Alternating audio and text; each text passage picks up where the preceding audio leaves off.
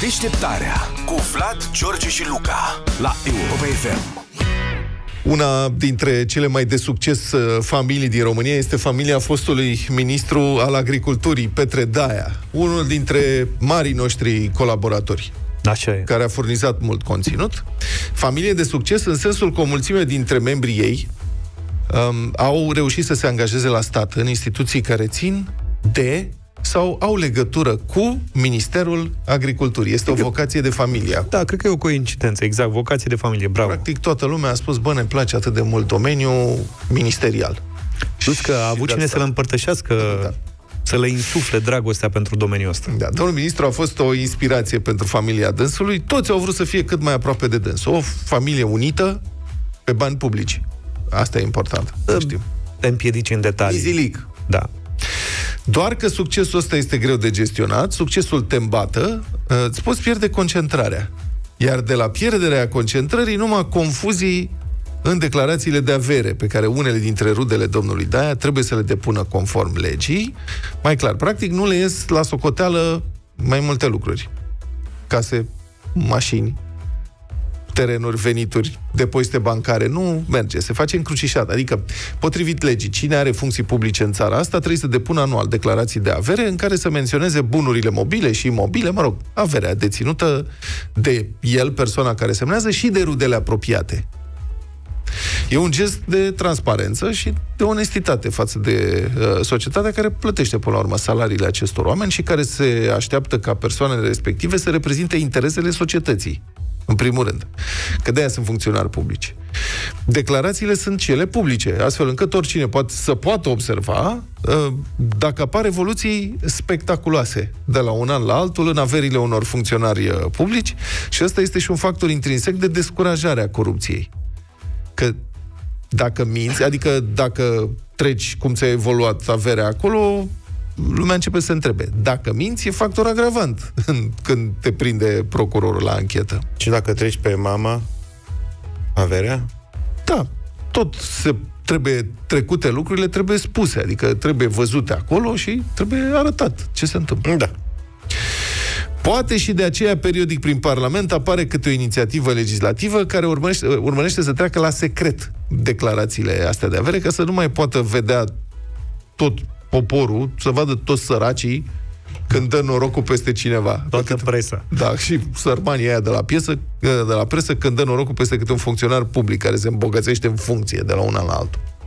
Revenind la declarațiile de avere din familia Daia, colegii de la publicația fanatic.ro au observat că fica și ginerele domnului Daia au completat declarații care nu se potrivesc. Deci soț-soție. Ca să fie clar, în aceste documente treci nu doar ce ai tu personal, ci și ce bunuri comune ai cu soțul, soția și ce bunuri, bani și așa mai departe are soțul, soția. Asta este ideea, trebuie să se potrivească. Așadar, doamna Dana Florentina, dânsa este fica, lucrează la Agenția pentru Finanțarea Investițiilor Rurale. Domnul Valentin Ginerele lucrează la Agenția Națională pentru Zootehnie. Doamna Dana a completat o declarație din care a dispărut o casă de locuit de 90 de metri pătrați pe, co- pe care o cumpărase împreună cu soțul în 2019. Această casă apare în declarația de avere a domnului Valentin. În schimb, domnul Valentin nu declară un apartament pe care îl declară soția. Niciunul dintre aceste imobile nu apare la rubrica de bunuri înstrăinate. Acum, cine nu rătăcește o casă două la un moment dat? Cui nu i s-a întâmplat să nu mai știe câte case are și pe la cine mai sunt și dacă e la soț, la nevastă? Asta e, se întâmplă oricui. Detalii. Da, detalii. După aia, domnul Valentin a scris în document că are un credit bancar de 110.000 de lei. Creditul nu e însă menționat de doamna Dana, soția dânsului. Poate că dânsul a luat în împrumut să-i facă un cadou, 110.000 de lei, și n-a vrut să-i spună doamnei. Și doamna nu știe că dânsul s-a îndatorat, să- era o surpriză de Valentine's Day. 110.000 de lei, 20 și un pic de mii de euro. Ce mai sunt, ce mai e 20 de mii de euro în ziua de azi? Cum ar veni? Fica domnului Daia, că s-au încurcat și la venituri.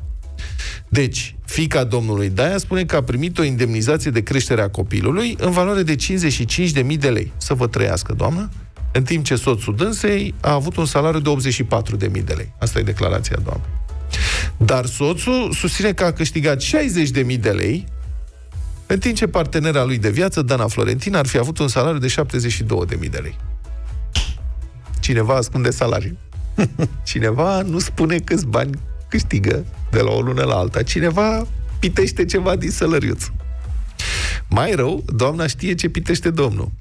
Dânsa a trecut în declarația de avere că soțul ei a câștigat 84.000 de euro de la o firmă unde e administrator.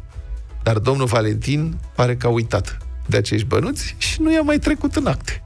N-a mai trecut și acest venit în acte. 84.000 de euro. Ce mai e 84 de mii de euro în ziua de azi? E și o problemă când îți intră salariul pe card. Da. Că nu mai e ca pe vremuri. Când îi luai în mână cash, Pune știi că ai să- luat salariu. Îi puneai pe căprării. Exact. Dar acum dacă îți intră direct pe card, Se amestecă. se amestecă. Nu, cine, cine știe să vadă extrasul de cont? Exact. Și îți vin 84 de mii de euro din Sunt mai multe carduri, mai multe bănci. Da, Bă, eu nu știu voi, dar eu să știi că țin cu ei. da. Cu familia Daia. Așa. Ce au făcut, mă? Că dacă le pui cap la cap, le dai de socoteală.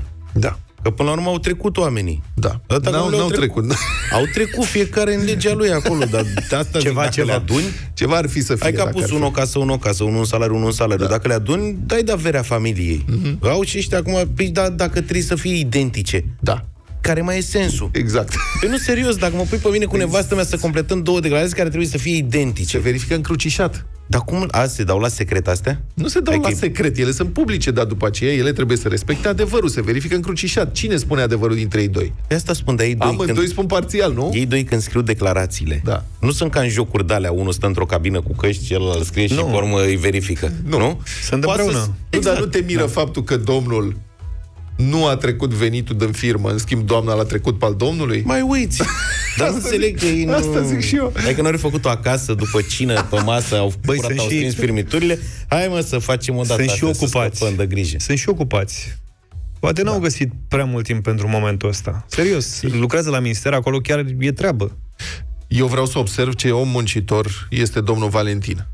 Deci nu doar că lucrează unde lucrează, stai să... La la, zootehnie. la Agenția Națională pentru Zootehnie. Da. Are acolo muncă multă. Are și firmă. Deci două locuri de muncă, vedeți? Deci domnul este funcționar la stat, are și firmă, ca să mai aducă un bănuț acasă pentru doamna, că acum au și copil. Noi ne bucurăm foarte mult pentru prosperitatea uh, membrilor familiei domnului Daia și îi urăm mult succes în viitor și sperăm să revedem curând. Bonuri de masă au, l-au declarat. Deșteptarea cu Vlad, George și Luca la Europa FM.